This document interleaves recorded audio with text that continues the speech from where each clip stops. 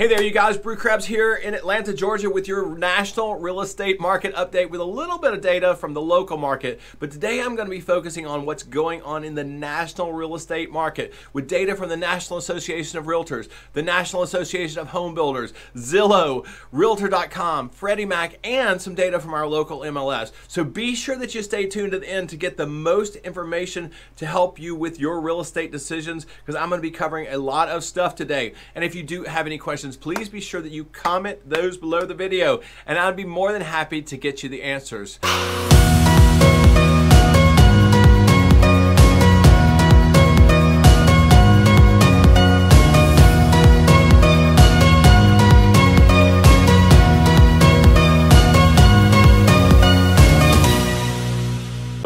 Further ado, I'm going to jump into the data. And if you haven't already, please be sure that you subscribe to my channel and click that little bell button to be notified when new videos come out because I do have videos coming out all the time on market data, new homes that are on the market, uh, what's going on with resales, uh, what's going on in Atlanta, uh, restaurant reviews, and so much more. But without further ado, what I want to do is I want to pop in here and I want to look at what's the information we're getting right now from the National Association of Realtors. Uh, and this is from our most recent market update. Uh, basically, the highlights from the profile of home buyers and sellers. Uh, you know, for right for most home buyers, the purchase of real estate is the most important and biggest financial purchase they make in their lifetime. So it's important that you are well informed and you understand what's going on in the marketplace to, uh, to know what is best for you. And like I say, be sure that you stay tuned to the end of the video because I'm going to cover a lot of stuff here. And if you do have any questions, don't forget to ask me about those. Now, flipping into who are buying homes. Our first time home buyers right now made up 26% of buyers altogether. Now that is down from 34% just last year. This is the lowest share of first-time home buyers since the data collection begins, and that is from the National Association of Realtors. Um, your typical first-time home buyer is 36, and your typical repeat buyer climbed to 59 years old. Both of those are getting to be a little bit older ages before they're making those purchases. 61% of buyers were married couples and 17% were single females while 9% were single males and 10% were unmarried. This is the highest share of unmarried couples recorded in the history of the recordation. Now, 14% of home buyers purchase multi-generational homes. That means that their parents move in with them or their kids move back in with the parents. Um, and what we're seeing that is because they're uh, moving back home and they're doing it for cost savings. 88% of buyers were white Caucasian. 8% were Hispanic Latino, and 3% were black African American. 2% were Asian Pacific Islanders, and 3% identified as other. Now, 91% of recent home buyers identified as heterosexual, 2% as gay or lesbian, 2% as bisexual, and 5% preferred not to answer. At 22%, the primary reason for purchasing a home was that desire to own their own home. And for first time home buyers, that jumped to 62%. Now, let's look at what Zillow is saying about what's going on out there in the marketplace. Zillow is one of the largest data collectors in the world, so we do like to look at what they're saying. And they're looking at inventories right now being up 1.8% since October of 2021. There's no surprise there. We've seen that all across the marketplace. Um, but it does remain below pre pandemic norms, now down 36% from 2019. That still means we have a very short supply of inventory out there in the marketplace. Now, the typical home is worth in the United States right now $358,458. Um, now, that's not what the median list price is, but that's what people who own their home, that's what it is typically worth today across all the United States markets. Now, that means that they are up 12% since October of 2021. So that means rate prices or home values have continued to increase even though those inventories have, have uh, increased themselves as well. The typical home values held steady this month but are up 43% since before the pandemic. The largest the markets with the largest decreases in home values were Las Vegas, Austin, Texas, and Raleigh, North Carolina. Now, let's flip on to the National Association of Home Builders and see what they're saying about what's going on in the marketplace. This is from the National Association of Home Builders chief economist, Robert Dietz. And what he's saying is rate, mortgage interest rates have stabilized in re recent weeks. You know, as the bond market deals with the expectation, expectation of tighter mon monetary policy from the Fed, uh, these have basically uh, stabilized the interest rate market just a little bit. The rising pocket possibility of broader macroeconomic slowdown would ultimately lead rates to level off and eventually decline. According to Freddie Mac, the average 30 year fixed rate for the week of November the 23rd stood at 6.58%. And as we get a little further along, I'm going to show you what they are today, and you'll see that they've declined just a little bit further since uh, November the 23rd. But as a result of that, October's newly built single family homes registered at 632,000. That's a seasonally adjusted pace, which is seven a 7.5% monthly increase and is 5.8% below that of October the 2020-21. Uh, 2021. Uh, but the census data doesn't include those canceled sales. And what we're seeing now is those are likely running about 25%. Last year, about this time, and I think it was October of 2021, uh, we saw those rates about 9%. So instead of 9% falling out of the sale once they go under contract, 25% of them. So that's a pretty big change there in properties that are going under contract and then not actually closing. Uh, regardless of the pace, the sale ha sales has slowed significantly, as evidenced by the fact that completed, ready to occupied inventory is rising while the inventory of homes not started is falling in response to weaker demand. The long run trend for housing demand is reflected in the existing home sales, which fell 5.9% in October to a seasonally adjusted annual rate of 4.43 million, according to the National Association of Realtors. This was the lowest pace since December of 2011. So this is the slowest sale pace we've seen since we came out of that big recession that we saw between 2007 and 2011. That is, of course, without the exception of April and May of 2020. And if you remember, that's when we dove into the pandemic and everybody was locked up into their homes for at least 60 days. And then, of course, at that point, we did see a tremendous drop off in sales.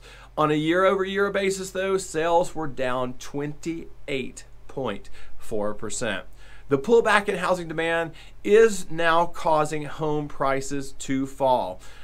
Uh, we saw a seasonally adjusted annual growth rate of 8.7% in September. Now, this is the third consecutive monthly decline.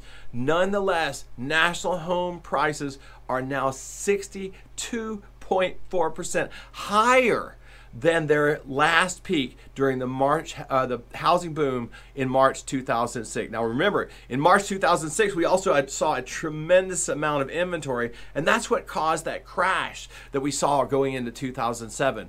We between 2007 and 10, we saw some homes taking two and three years to sell. We are not seeing that today, and prices continue to decline going into 2023, though, because of that lower uh, traffic, those lower traffic numbers. Now, we're going to flip on in here to realtor.com and see what those folks are saying. And this is the inventory core metrics data state by state. I'm also going to show you what's going on nationally here as well. But I want to point out that our two most, or our three most expensive markets in this country are California, Massachusetts and Hawaii, with California or with Hawaii being the most expensive at $843,785. California coming in number two here at $699,900, so almost 700 grand. And then Massachusetts coming in a bold third with their average home price at $669,500. What is interesting to see if you look over here though at our days on market on the right side of this chart is that most of your home sales are running right about 60 days. You know, somewhere between 60 and 90 days is the average days on market right now. Um, and depending on your state and the demand, of course, those vary just a little bit. And of course, if it's a metro area that's in high demand, it may sell a little bit faster than a rural area where you don't have as many people moving into it. Now, looking at the lowest price markets in the country, Ohio, Michigan, and West Virginia, with West Virginia being the lowest priced home market in the country with the average average list price at $221,975. followed shortly there behind with Ohio at 224,950 and Michigan at 250,400. Now, here in the state of Georgia, we see our average sale list price at $385,000 and that typical days on market right there around 53 days.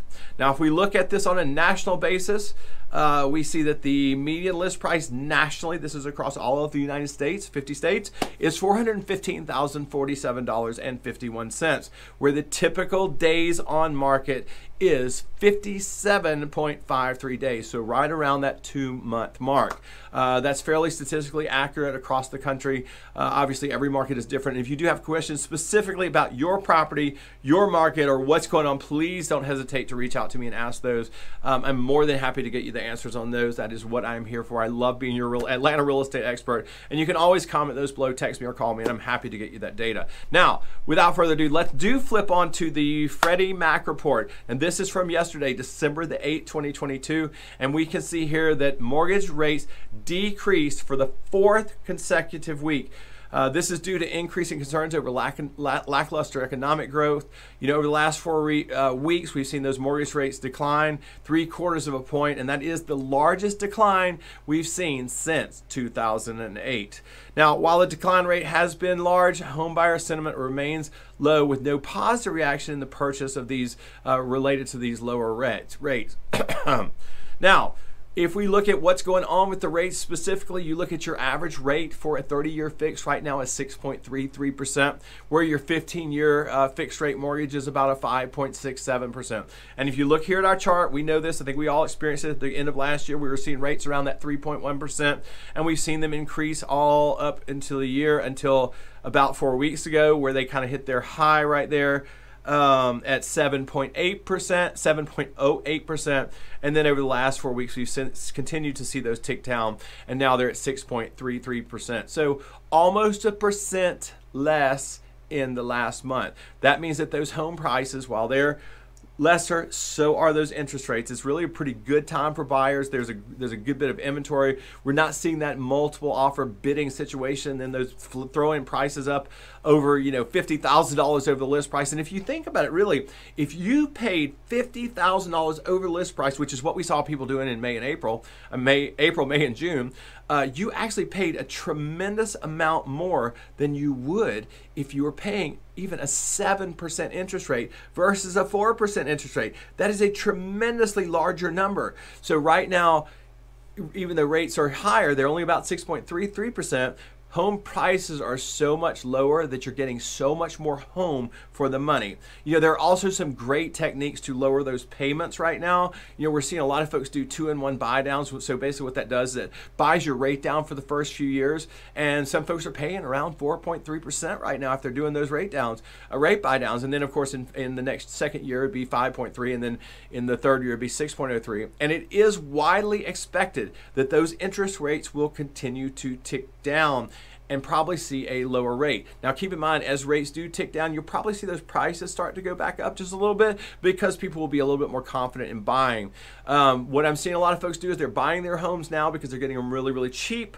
They're doing those rate buy downs with the because it's widely expected that in 2024 we're going to see um, a good bit lower rates, and then they refinance those homes in 2024. They capitalize on that low price, and then they continue to see that equity grow up, uh, build up. So they're making money those two years with the lower payments, and then they refinance and, and put themselves in a really great position. Plus, they get the home that they want right now. So for buyers, it's a great time in the marketplace. Uh, sellers, sorry, you're not getting those $50,000 bonuses like you used to, but really it's a healthy thing for the marketplace. So without further ado, I am going to flip into the uh, local market. This is the FMLS market data, and this is basically um, Metro Atlanta a little bit further out. Um, FMLS carries covers mostly the Metro Atlanta, and, and it does carry some out, uh, cover some outlying areas. Um, but it gives you a really good idea of what's going on locally here in the marketplace. And what we're seeing is that new listings in the last seven days are 5,160. We see 1,602 back on the market. Now remember, we talked a little bit about home sales falling out at about 25% on the builder side. So if 5,170 went under contract and 1,602 came back on the market, that's a very similar number to what those new home sales are seeing. We're seeing about 25% of those sales fall out after they go under contract. We're also seeing a lot of them reduce their prices. Look there at that number right there 6,407 in the last seven days in the FMLS market data reduce their prices. We have not seen price reductions like that in a very, very long time. Uh, this is a great opportunity for buyers. Um, you're buying homes at much cheaper prices than you were eight or nine months ago. Remember, real estate is a long game, so you know uh, you want to buy and hold your real estate for a few years before you sell it, unless you're doing something like a fix and flip. And if you do have questions, maybe what's better for you, um, please don't hesitate to call me or and ask me about those. I'm always happy to give you details on what I see in the marketplace and and and help you make your best decisions. Now. The local supply is very similar to what we've seen nationally. It has ticked up and ticked up and ticked up. We're seeing it about 2.4 months worth of inventory in the entire MLS area here at the end of November. Similarly, we have seen those sales drop, drop, drop, drop, drop, drop. So more homes coming on the market, sales slowing down. That means a bigger supply, right? That makes a, a lot of sense, right? And as we see that supply to uh, continue to get uh, to be more, what we're also seeing is those days on market are, are ticking up and being longer. It's becoming more of a normal market. You know, normal market is when we have six months worth of inventory. Uh, what we've seen historically in the last couple of years, just not realistic. I mean, it's not something we could have sustained. And yes, had we continued with those low rates and, you know, homes going crazy, we probably would have had a bubble bust. We are not expecting that. We're not seeing that. We're not seeing any of the signs of what would create a bubble bust in the marketplace. Where what we're seeing is the market is becoming healthy healthy and strong, and we're going to we expect to see prices continue to uh, appreciate over the years to come at more moderate rates, of course, than we saw over the last two years, but still at good rates uh, outpacing what you're paying in interest rates, and you got to have a place to live. I mean, if you're renting, let's face it, you're paying 100% interest. Um, so it's still a very, very viable and safe investment. I know if anybody's looking at their stock portfolios right now, you certainly can't say the same thing about those. Um, I know mine, I think, has gone down like 35% in the last year. Not fun uh, while my home values have continued to increase. And we're seeing that across the marketplace. Now, we have seen since we saw that high back in June where things were selling for those $50,000 over market uh, price, then we saw it started to see those interest rates tick up. We started to see those prices sort of uh, drop back down a little bit. Our median sales price in June in Atlanta was $395,000, while our median sales price here in November is 358,118. Like I say, you combine that with those rate buy downs, you're getting getting a lot more home for a tremendous amount less money. Not only in the starting price, but also, you know, if you're buying those interest rate down, your payment's going to be way down. Ride that up for a couple of years, um, and then refinance your home when rates are back in the you know fives and so rate, which was kind of what we expect them to be. Um, you'll be you'll be very glad that you did. It's a very healthy marketplace. It is a wonderful time to be in real estate, even though it feels a little freaky out there. Um, and I know it can be very very confusing. And like I say, as always you know, I do get calls from folks all around the metro Atlanta, especially in town. That's anything inside the perimeter like Buckhead, Midtown, Old Fourth Ward, Inman Park, Virginia Highlands, West Midtown, Decatur, all of these areas. Um, and, and if you do have questions, please do not hesitate to reach out to me. I'm more than happy to do that. I really do love being your Atlanta real estate expert. Um, you know, I'm also putting out videos with this information all the time. So if you haven't already, please be sure that you subscribe to my channel and click that little bell button to be notified when those new videos come out. Um, I love connecting with you. So please, anytime you see me out, say hello. Um, I'd love to uh, see what's going on in your life. And if you do have any questions, don't hesitate to ask me about those. Um, so thank you so much for tuning in today. I really greatly appreciate you. And if you did like this video, I know you're going to love the next one that pops up on your screen.